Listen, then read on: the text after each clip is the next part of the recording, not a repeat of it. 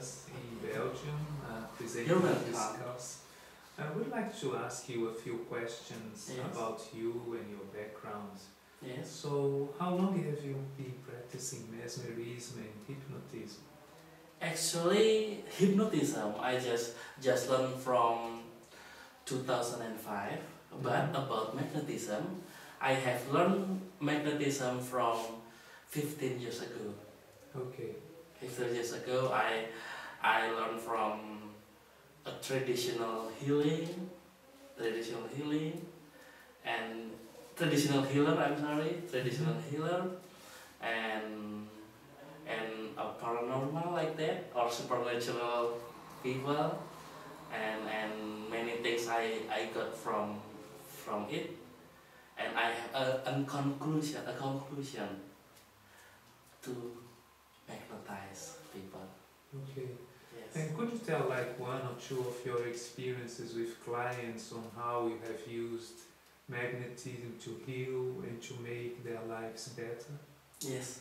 Actually, we have a magnetic body layer. The magnetic body layer is connected with connect is connecting with our mind. When we usually to think bad things, a magnetic body layer have high competence to attract bad things. So, if we want to change the life better, we need to clean a magnetic body layer. So a magnetic body layer just attract a good things. Good.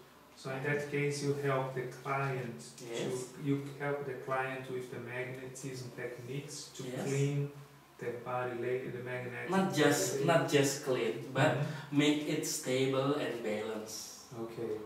And that. And and and the magnetic body layer Mhm. always can influence by bad or good mind and and in the opposite Mhm.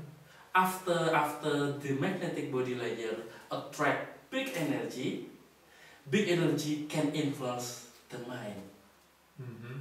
so we we must clean the magnetic body layer until really really clean and change it become attract just a positive thing and this is this will make a better life Good.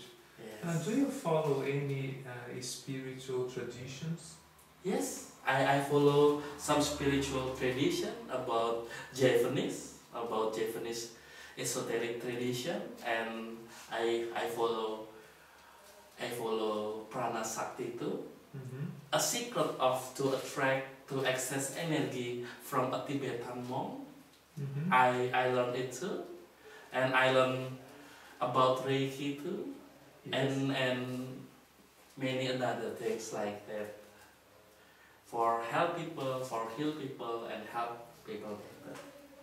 Okay, that was very nice. Thank you for your time. you're welcome thank you Thank you. thank you